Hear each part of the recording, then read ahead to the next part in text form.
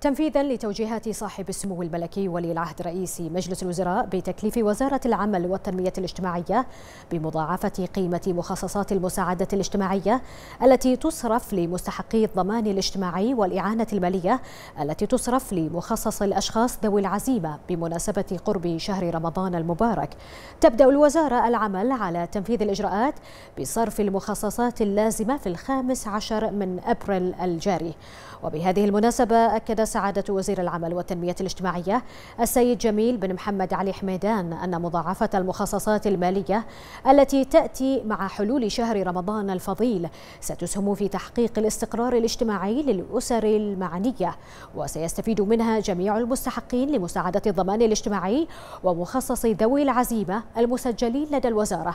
مضيفا بأن عدد المستفيدين من مساعدة الضمان الاجتماعي بلغ 17052 طلبا بين أسر وأفراد من الفئات التي حددها القانون رقم 18 لسنة 2008 بشأن الضمان الاجتماعي.